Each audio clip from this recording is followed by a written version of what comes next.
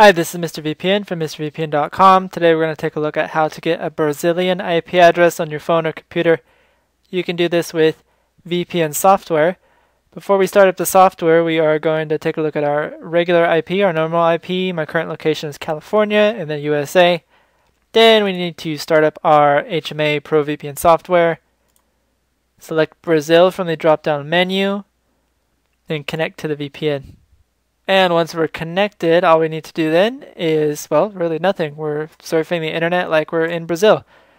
I'll refresh these to double check that the IP has changed. You can see Brazil is showing up here.